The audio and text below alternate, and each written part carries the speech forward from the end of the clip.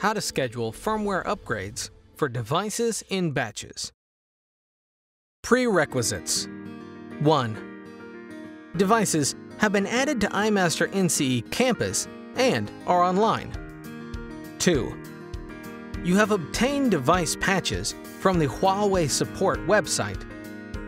Function description System, MSP, and tenant administrators can use a file upload tool to upload device software packages and patch packages to the built-in file server of iMaster NCE Campus.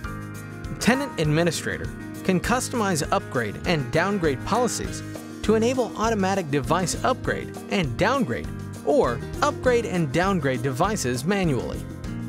Application Scenarios Upgrading devices can help fix bugs in the current version, enhance functions, or support new functions.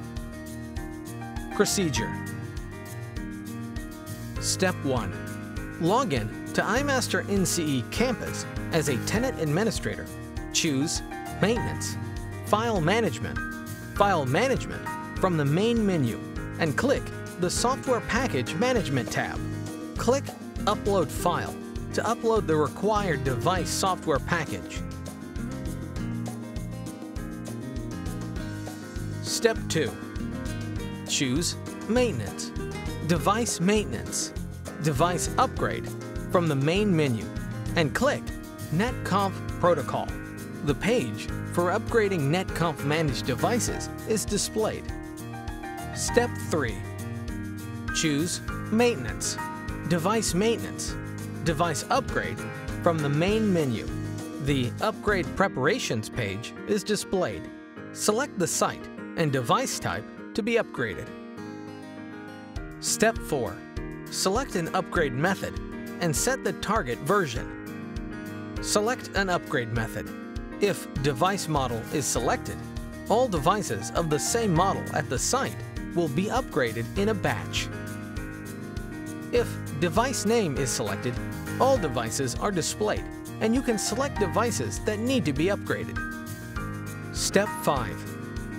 On the Upgrade page, view the upgrade result, upgrade details, upgrade progress, and upgrade failure causes. Verify the configuration. Log in to iMaster NCE Campus as a tenant administrator and choose Design, Site Agile Development, Device Management from the main menu to view the current device version. If the version is correct, the device firmware is upgraded successfully.